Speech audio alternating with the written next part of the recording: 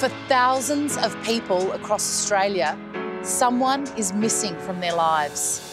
It's heartbreaking growing up and hoping that one day you would be able to meet your dad. That's where we step in. Offering a last chance to people desperate for help. The thing is, Emma, we've, we've actually found the dad.